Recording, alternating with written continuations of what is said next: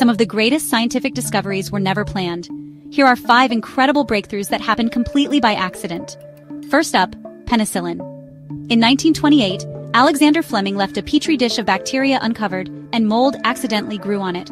He noticed the bacteria near the mold had died, leading to the discovery of antibiotics. Next, X-rays.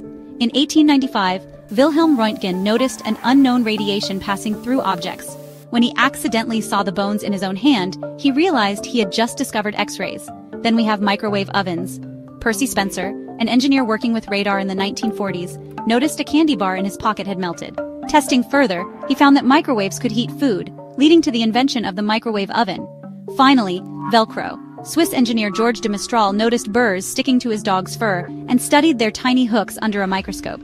Inspired, he developed Velcro, which is now used in everything from fashion to space travel. Which of these accidental discoveries surprised you the most?